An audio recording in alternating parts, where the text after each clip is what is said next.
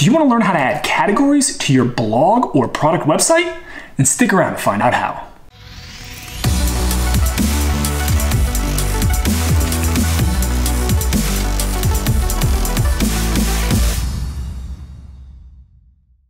I'm Thomas with Brain Trust Digital. I'm a full stack web developer obsessed with learning. If you're interested in learning web development, please consider subscribing below. And if you know anyone who you think may be interested in this type of content, I'd really appreciate it if you'd consider sharing with them. In this AWS Rails tutorial, we're gonna walk through how to add categories to our Rails application.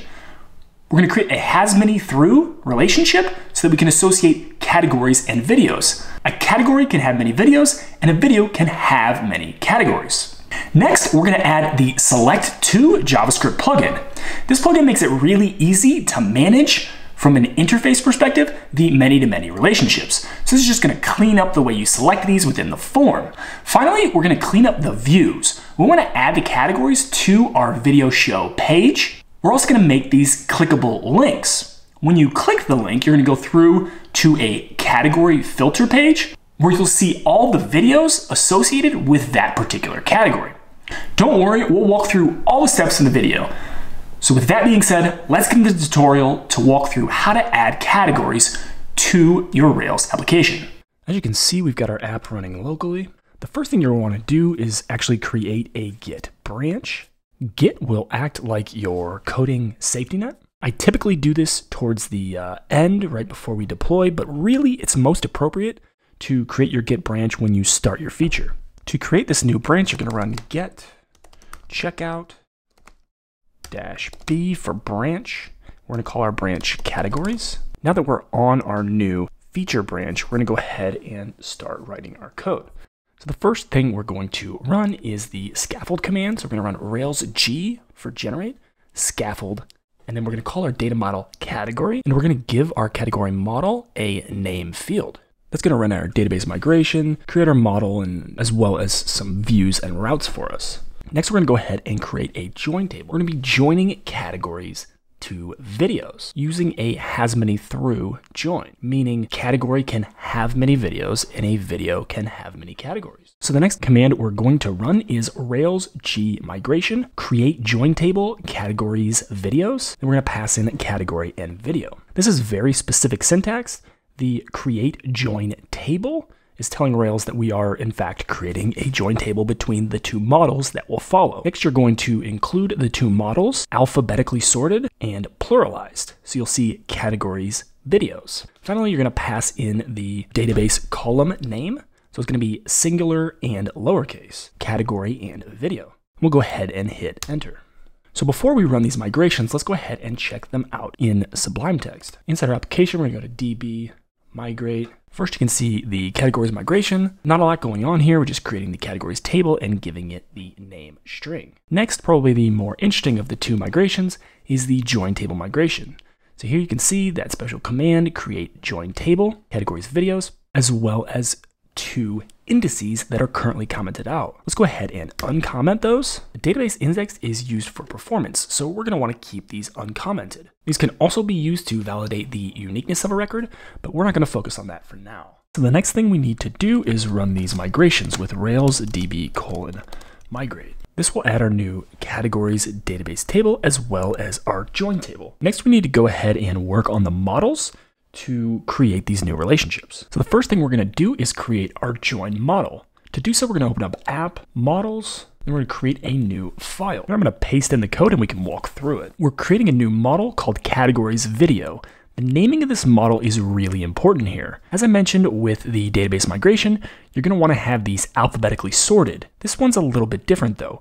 The first model's name needs to be pluralized, while the second needs to be singular. This is a common point of error, especially for new users. I've done this one uh, dozens of times. You get these weird errors, so definitely check your naming here if you run into some strange errors. So we're gonna go ahead and save this file. You'll follow that same naming convention, just split the words with an underscore. It's going to be categories, plural, and then underscore singular video.rb. That's the name of our join model. That join model is going to belong to a category and it's going to belong to a video as well. Next, we need to add our relationships in the categories and videos models. First, if we open up our category model, we're going to add two lines here. First is the has many categories videos. We're to say it has many videos through categories videos. This tells Rails that we're using a has many through relationship and we're going to use the new join model to find all of the videos related to this category. Next, if we open up our videos model, we're going to add a similar series of relationships.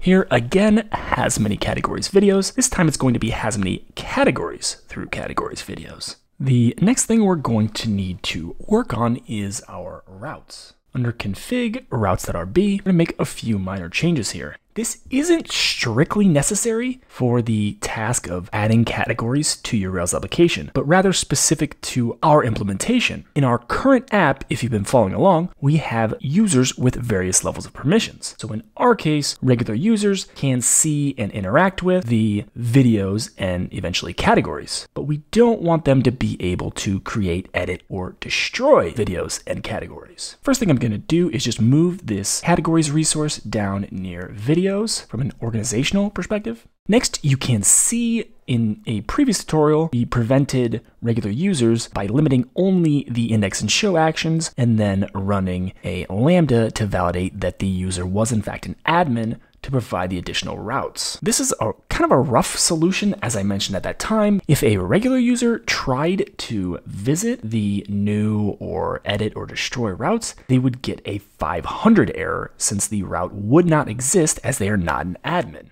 In this case, it would be a lot cleaner if we could just redirect them back to the home page and let them know that they can't do that. So what we're going to actually do here is change the videos route and then get rid of this conditional authentication. Instead, we're going to create an application controller method that does this check for us. This will make it a lot more reusable in the future. So we'll go ahead and save our routes now. So if we open up our controllers and then open up application controller, here we can add a new method, authenticate admin. This method will redirect back to the root URL with a message from the greatest movie of all time if the user is not an admin. We'll go ahead and clean this up a little bit. Adding this in our application controller will allow us to use this method in other controllers, in effect giving us the same restrictions as the routes that routes.rb restrictions gave us, but with a much cleaner end result. Instead of receiving a 500 error, the user will just be redirected back to the homepage. All this code does is create the functionality. We're not actually using this functionality. To do so, we would want to open up our categories and videos controllers and utilize this method in each. But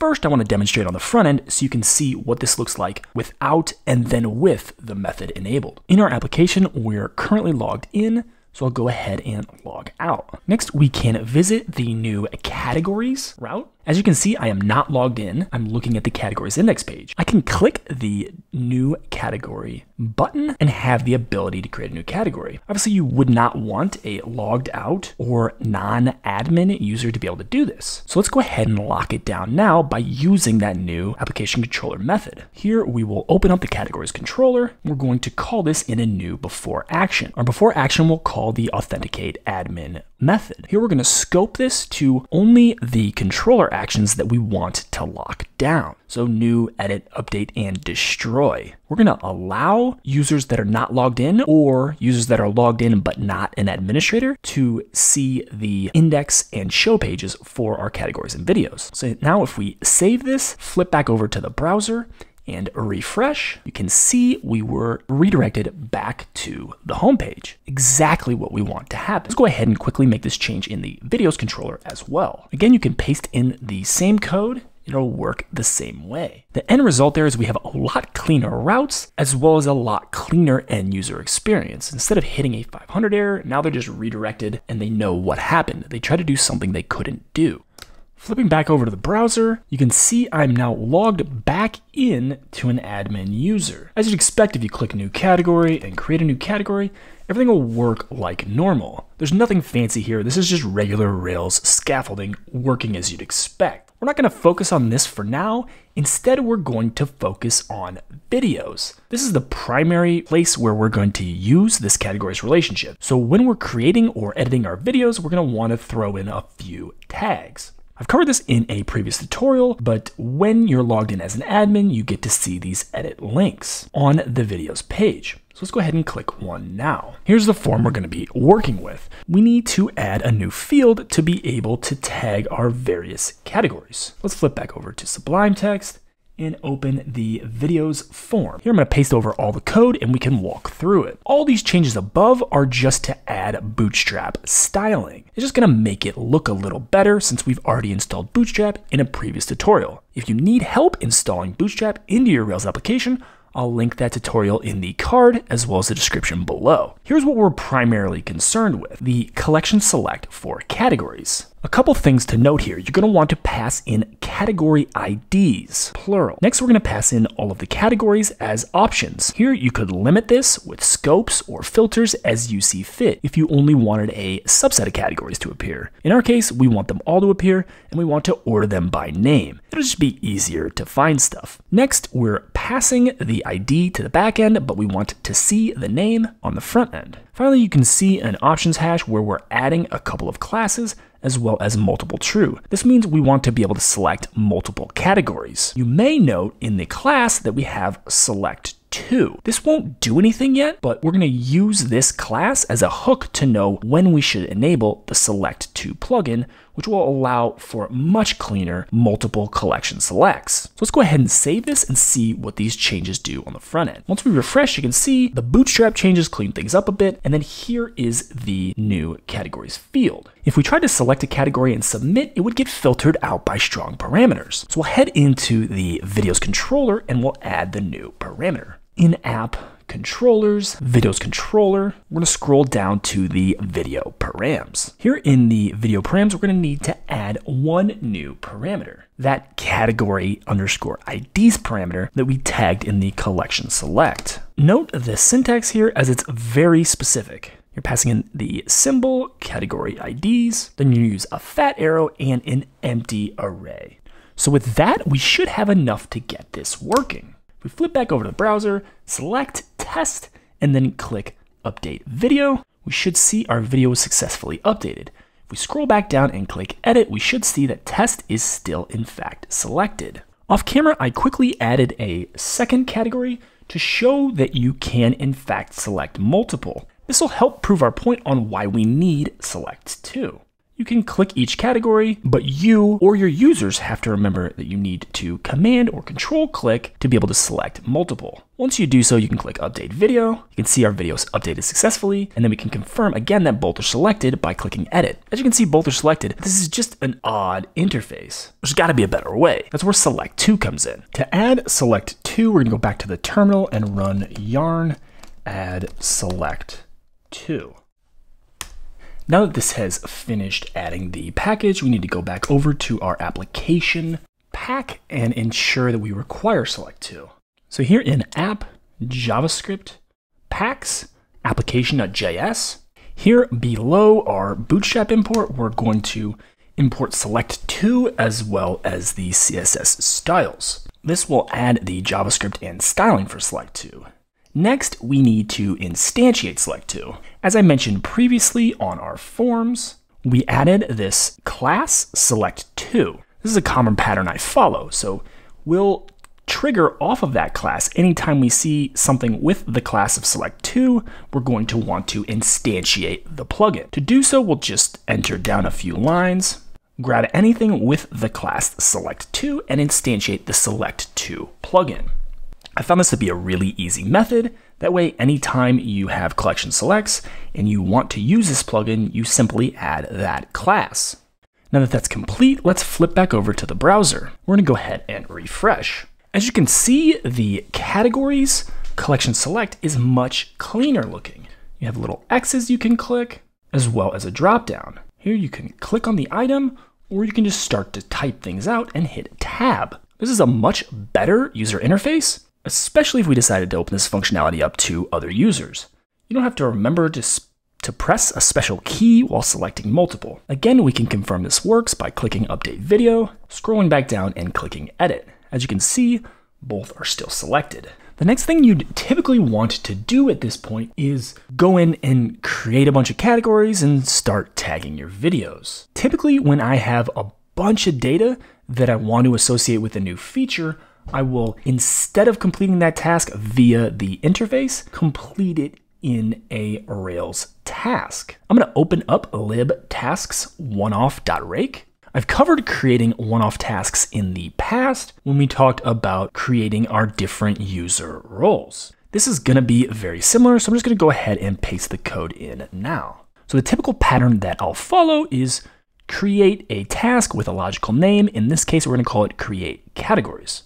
The first block up top is an array of categories and video IDs. So here you can see I'm creating categories for AWS, Ruby on Rails, DNS, and so on. Next, you can see I've gone through the videos and found the appropriate videos to tag and then listed them in the video underscore IDs array. One important item to note here is the fact that I'm using very specific IDs here. You can't always guarantee that your production IDs will be the same as your local IDs. Unless, of course, you're using the Capistrano DB Tasks gem. So in this case, I do happen to know that these will work as my local data is always pulled from my production database. If you want to see how I created the ability to pull my production database down locally, then check out the video about Capistrano DB tasks that I'll link in the card as well as the description. A safer way to do this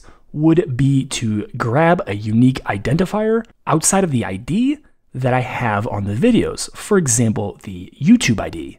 I know that that's not going to be replicated, and I know that that will be the same across all environments. So this is just a quick and rough way to get this functionality up, but I want to point out that constraint. Below you can see I'm looping through the category array of objects. In this case, I'm considering name my unique identifier. So if I run this task multiple times, I will only have one AWS. If I instead change this in some way, that would create a new category. So that's the point you want to pay attention to. Whatever you're setting up here, since this is the first or initialize, will be what you're considering unique to this model you're adding. After I've found or initialized a category with that name, I'm gonna go ahead and set the video IDs. Finally, I'm gonna go ahead and save the category. What this allows me to do is to continue to add new categories or update the video ID on existing categories, and continually run this task without issue. I found this to be a really nice pattern as I can run this locally and refine my data. Then once I have a set of data that I'm happy with, after deployment, I can just run a single task to get all of my data in line. So now if we flip back over to the terminal and run Rails create categories task, then we flip over to the browser and refresh, you can see some of the new categories as well as the fact that they've been associated with this video. Let's go ahead and remove our two test categories. Then we can update the video. So next, a bit of cleanup.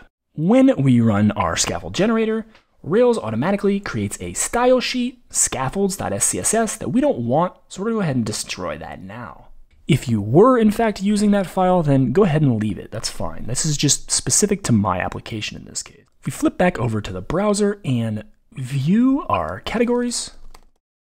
While the page is functional, it's just a bit rough. So we're gonna go ahead and update some views now before we deploy our application. So we're gonna go into app, views, categories, index.html.erb.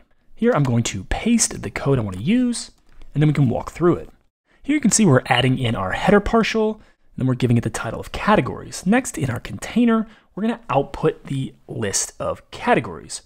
We're using the Rails shorthand syntax that I've mentioned in several previous tutorials. Basically, this is just going to loop through all categories and assume you have an underscore category.html.erb partial for it to render. We'll create that in a minute. Next, we are checking if there's a current user and that current user is an admin, we're going to head and add the new category button. This will allow our admin users to create new categories if necessary. If we flip back over to the browser and refresh the page, you'll see we're getting an error as we haven't created that partial yet. So let's go ahead and do that now. In categories, we're gonna click new file, underscore category.html.erb. Within this file, we're gonna go ahead and paste our code. Each category is going to be a list item with a link to the category show page. Here we're just wrapping this in a Bootstrap badge for a clean presentation. So if we flip back over to the browser again and refresh, as you can see, we have our categories. It doesn't look great and they're a little bit hard to read. So let's go ahead and add a quick bit of styling now. In our text editor under assets style sheets, you can see the scaffold generator created a categories SCSS file for us. Let's go ahead and delete the comments and then we're gonna paste in our category styles. As this isn't a styling video, I'm not gonna spend too much time here. The last thing we need to do is to ensure that this file is pulled in. Since we do not have a required tree statement in our application.scss, we need to add this manually. So we'll do so now and then refresh. This is a little bit more readable and that'll work for our purposes. So now, as I mentioned, these are links. If we go ahead and click AWS, you can see we're now on the category show page. This looks a little rough. On this page, what we'd like to do is list out all the associated videos. So let's go ahead and update this view now. Back in our application, we can close assets and JavaScripts, and then head down to the category show page. Here, we're just gonna paste our code and walk through it. We're gonna again use our header partial and then spit out the category name. Here, we're rendering our category instance variables videos using that same Rails shorthand. As it is being passed a collection of videos, Rails will default to looking into the videos view folder, attempting to find an underscore video.html.erb partial that it can loop over to render the videos. We've created this in a previous tutorial, as you can see below. We're not going to mess with this, we'll just leave it as is. Go ahead and save, and then refresh the page. As you can see, our page looks a lot cleaner and our videos render out just like they do in other sections of our site. Perfect. Typically, I would go through and update the category form, the edit page, the new page, and so on. Since that isn't so important as these aren't outwardly facing, I'm just gonna go ahead and skip to the video show page. On this page, we'd like to display the categories underneath the video. So if we flip back over in the browser and then click through the title to a video show page, you can see this page is pretty simply displaying the video up top and then the title below. If you're logged in as an admin user, you have the ability to edit. Below this title and above the edit link, I'd like to display the categories. So here in the video show partial, we're going to enter down a few times and then paste in our loop. Here again, we're using an unordered list. Again, we're using the Rails shorthand. In this case, we're going to output the video instance variables categories. Using that same logic, Rails is going to realize this is a collection of category objects and therefore look to the views categories folder for an underscore category.html.erb file. If it finds one, it will then loop over that file to display the categories in the collection it was given. Since we have that and created that for our categories index page, this will all just work. If we flip back over to the browser and then refresh, you can see our categories listed below. This will allow our users to click on different categories if they want to find videos of similar topics, like AWS in this case. Now that we have our feature complete, we need to go ahead and deploy our code. So we'll flip back over to the console. We're going to clear the screen and then run git status. Here you can see all of the files we've updated. Typically, you would want to go through each change and ensure it is appropriate to be a part of this feature branch's commit. In an effort to save time, we're just going to add everything using git add dot. If we run git status again, you can see all the files are added. Next, we will commit with a message.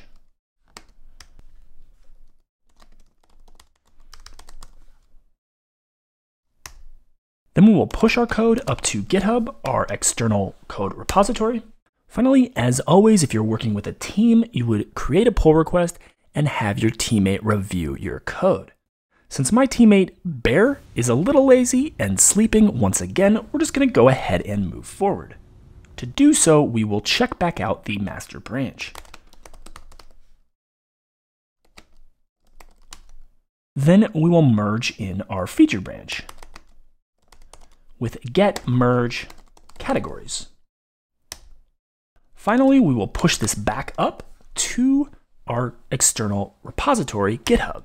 If you're interested in learning about Git or GitHub, I have some tutorials covering those topics that I'll link in the card as well as the description. Now that we've got everything up in our remote repository, we need to go ahead and deploy. We will do so with bundle exec cap production deploy. If you've never created a Rails deployment, I'll link to a video covering that topic in the card as well as the description below. Now that we've finished deploying our application, but before we check it out in the browser, let's go ahead and run our task that creates and assigns all of our categories. So the first thing we need to do is SSH into our server. We're going to do so using SSH keys. If you're interested in a tutorial covering SSH keys, I can link that in the card as well as the description below. Hopefully you're noticing a pattern here. I try to break off various topics so that we don't have to continually talk over the same thing. Now that we're in our server, let's go ahead and cd into our application. Now that we're in the current folder on our server for our application, we're going to run our one-off rake task. We'll do so with Rails env equals production, bundle exec Rails, and then the name of our task, create categories. Once this completes, we can break out of our server and then flip back over to the browser, switch to our AWS Rails Live website and refresh. Now, if we click on the videos section and then click through to a video, we should see our categories listed below, and there they are. If we click on a category link, you can see we have all of our categories, or rather all of our videos in the AWS category. So I hope you've found this useful, and if you have, please don't forget to like and subscribe. That really helps out the channel. If you have any friends who you think may be interested in this type of content, I'd really appreciate it if you'd share with them. And as always, please remember to comment down below with any questions or tutorial requests. These requests really help me to figure out the types of videos that might be helpful to the largest group of people. So I really appreciate any requests you have. And with that, I'll catch you in the next AWS Rails tutorial.